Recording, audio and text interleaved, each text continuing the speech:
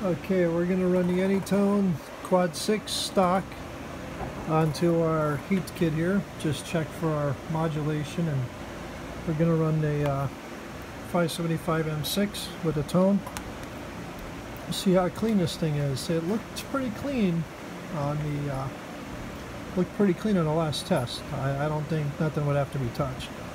Now this is a stock radio.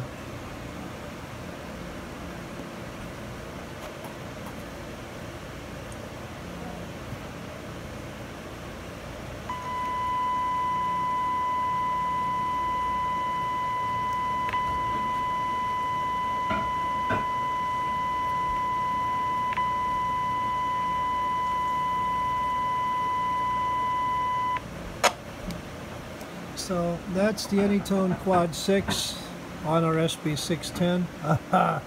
I don't think anything would have to be adjusted. That that wave looks very good to me. Very good wave.